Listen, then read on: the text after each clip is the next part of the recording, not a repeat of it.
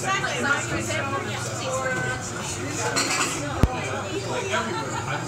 David. Because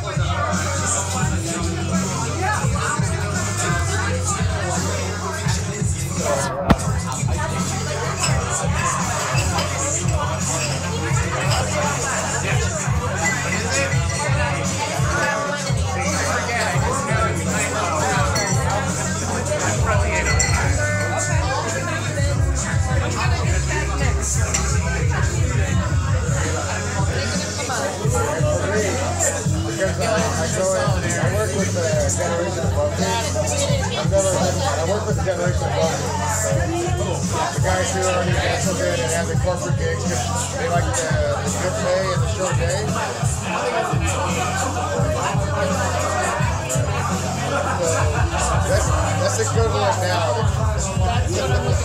That's equivalent now to commercial. Uh,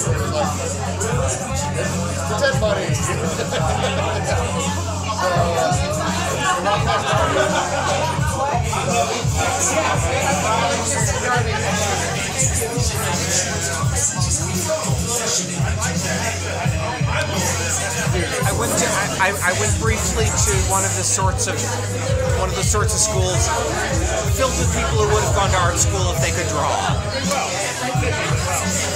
But there there was there was invariably, you know, as as you were finishing your your, your master's deal, um, courtesy of the school, where somebody would look would, would, would gesture dramaturgically at the, uh, the pile of dirty dishes and say, Madonna and child.